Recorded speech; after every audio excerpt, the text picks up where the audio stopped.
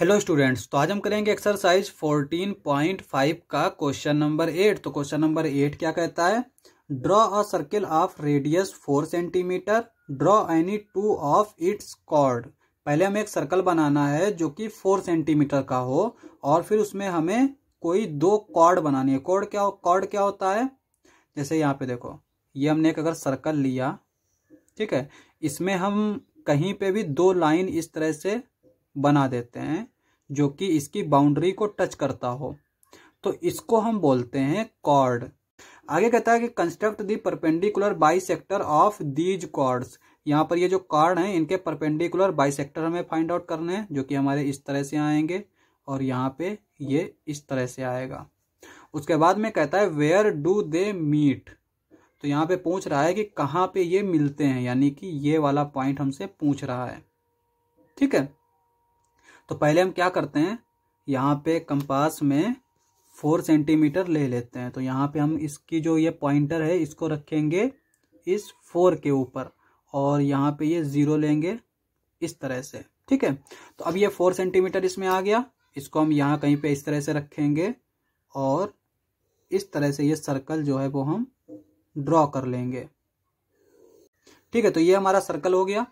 अब यहाँ पे हमसे क्या पूछ रहा है कि इसकी हमें पहले दो कॉर्ड बनानी है और उनके परपेंडिकुलर बाइसेक्टर फाइंड आउट करने हैं। तो यहाँ पे हम पहले दो कॉर्ड बना लेते हैं।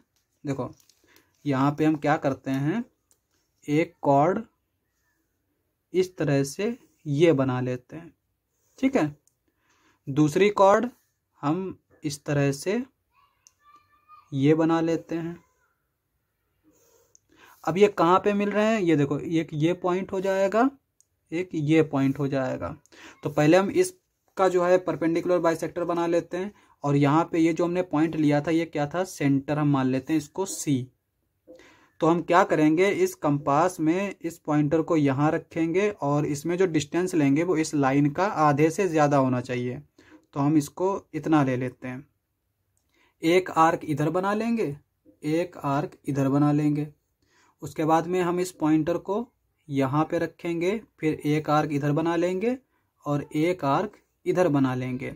सिमिलरली यहाँ पे हम इस पॉइंट को यहाँ रखेंगे, एक आर्क इधर बना लेंगे, एक आर्क इधर बना लेंगे और फिर इस पॉइंट को हम यहाँ पे रखेंगे और एक आर्क इधर बना लेंगे और फिर एक आर्क इधर बना लेंगे।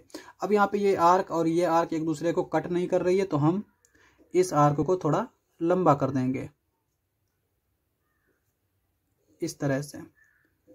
ठीक है तो ये हमारा आ गया।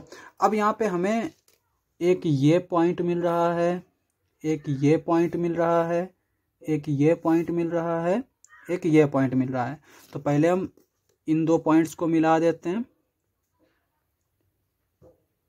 इस तरह से। ठीक है, उसके बाद में हम इन दो पॉइंट्स को मिला देते हैं। इस तरह से। अब यहाँ पे देखो, ये जो लाइन गई परपेंडिकुलर बाइसेक्टर और ये जो परपेंडिकुलर बाइसेक्टर है, ये एक दूसरे को इस पॉइंट पे काट रहे हैं। और ये पॉइंट हमारा क्या है? ये है हमारा सेंटर सी तो यहाँ पे जो आंसर हो जाएगा, वो हमारा क्या हो जाएगा? Answer they meet at the centre. तो ये जो है वो सेंटर पे मिलते हैं। क्वेश्चन समाप्त। नेक्स्ट लेक्चर में करेंगे नेक्स्ट क्वेश्चंस। आज के लिए बस इतना ही।